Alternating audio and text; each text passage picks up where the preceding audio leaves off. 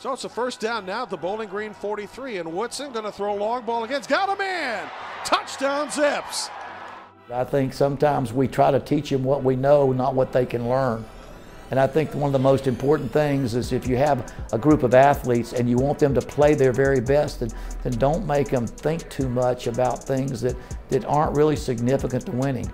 You know, tackling and blocking and throwing and catching. When it comes to the game, don't make it about schemes and techniques and so many different things that you confuse a young man. And so as the longer you go and the more knowledge you obtain, the more you understand that I need to keep it simple, that I need to stay with the fundamentals of the game and not try to get, uh, try to out, out finagle people all the time. Nothing wrong with a good trick play, nothing wrong with misdirection.